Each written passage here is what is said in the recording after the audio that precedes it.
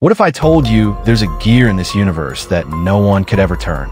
Imagine a machine made of 100 interconnected gears, a chain so precise that for every 10 full turns of the first gear, the next one rotates only once. It's more than just a clever mechanism. It's a physical model of a number so huge, we call it Googol. That's 1 0 superscript 1. Now, the first gear spins fast, one full rotation every 3.5 seconds.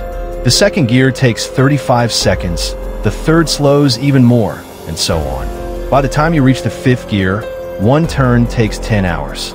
The seventh gear? An entire month. The 11th gear needs a thousand years for just one spin. And when you finally reach the 18th gear, it's mind-bending. Even if the Earth kept spinning for its entire 4.6 billion year history, that gear still wouldn't complete a single turn. So, could we just force the last gear to move? In theory, yes, but only if the first gear spun faster than light itself. That would demand more energy than the entire observable universe, more than even the Big Bang could provide. In short, this is a machine that no one and nothing could ever turn.